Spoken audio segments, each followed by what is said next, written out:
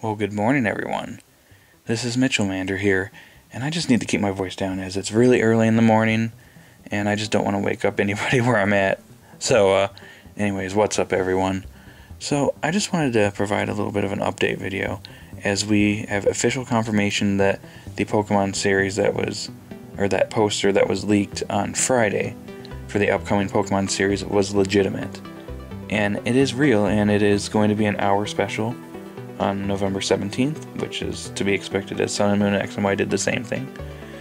But I am a little underwhelmed as I was expecting a trailer to drop because they've been kind of teasing this and saying that there's going to be a special announcement. So I was expecting like maybe like at least a 30 second trailer showcasing some of the upcoming series. But it appears that we're going to get more information in the upcoming weeks. So I'll probably um, report on that when we get more information. But for the information that we got this morning, we got some more information on the new character that's being featured in this upcoming series. This character, and I'm going to correct myself, is in my Friday video I said that this was a female, and it actually turns out that it's actually not. It's a male. Um, this character's name is Go, and so according to Serebii, I'm reading the details for this character. Go is a young boy just starting out on his Pokemon journey. His goal is to catch all Pokemon and eventually find the mythical Pokemon Mew. His partner Pokemon is Scorbunny, which we saw in the leak. So his name is probably a reference to Pokemon Go and Let's Go Pikachu and Eevee. Um, another interesting tidbit is that this character is actually voiced by the same voice actor that voices Izuku Midoriya Deku in My Hero Academia. And if you're a big fan of My Hero Academia, and I'm a very big fan of My Hero Academia myself, so this is actually exciting news for me. And if you're a fan of uh, Deku and his voice in Japan, Jap- Japanese, uh, I think you'll like this too. And that's pretty awesome. I think this may be his first role in Pokemon.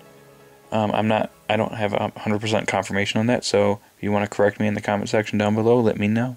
If he's been in other Pokemon episodes or voiced other characters, I'd be interested to hear.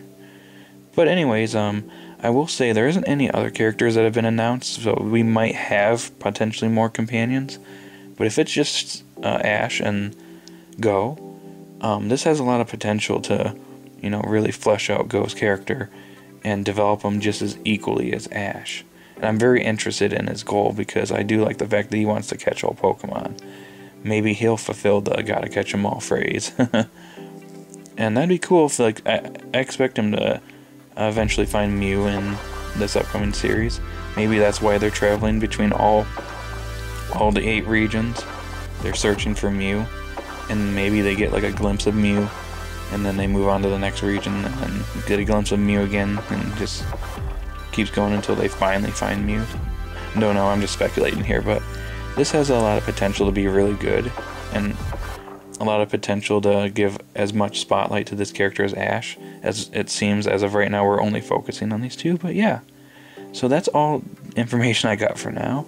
Um, leave your thoughts in the comment section down below, and be sure to like and subscribe, and I will report on this as I as we get more information. So uh, I will talk to you all later today when I do my impression video for episode 141.